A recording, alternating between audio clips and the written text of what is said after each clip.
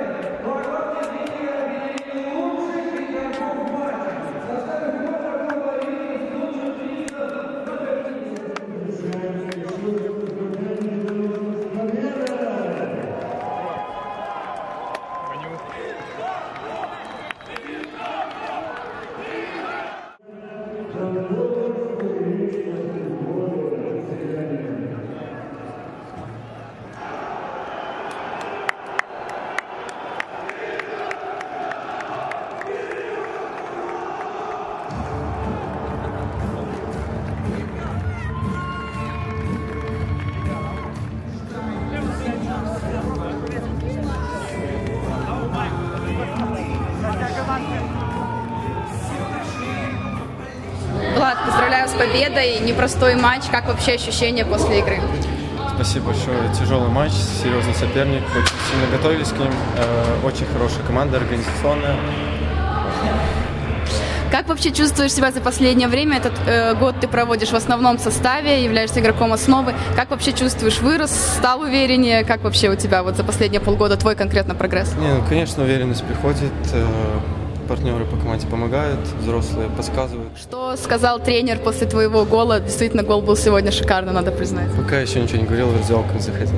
Андрей, ну поздравляю, поздравляю с голом за Минское Динамо, с долгожданным. Как ощущения? Самое лучшее, потому что уже сколько моментов было, второй сезон, как бы и было достаточно моментов и, скажем так, с убойных позиций, и не удавалось забить, потому что все время до этого пытался где-то там на технику пробить.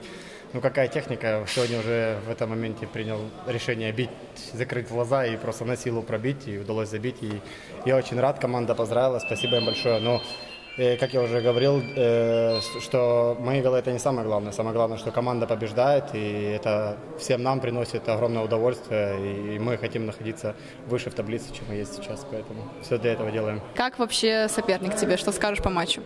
Соперник играл хорошо, достаточно. Они пытались контролировать мяч, выходили, старались через пас. Иногда у них это получалось, но мы готовились к этому, разбирали их игры, поэтому э, много удалось их именно отобрать мяч на их половине поля, возле их ворот, создавали острые моменты, поэтому они сыграли хорошо, но мы были лучше, поэтому и результат, соответственно, за нами. Ждет нас два матча, матч чемпионата и матч кубка. Оба матча проведем с одной командой на выезде. Как считаешь, насколько будет непросто сыграть дважды с одним соперником? Ну, со Слуцком на выезде всегда непросто. Даже в том году я помню прекрасную игру. Это был очень жаркий день. И как бы время матча было такое довольно раннее. И как бы это я считаю, что такие моменты иногда уравнивают шансы. Но э, мы сейчас в хорошей находимся форме, разберем соперника, как и любого другого, и уверен, что покажем достойную игру.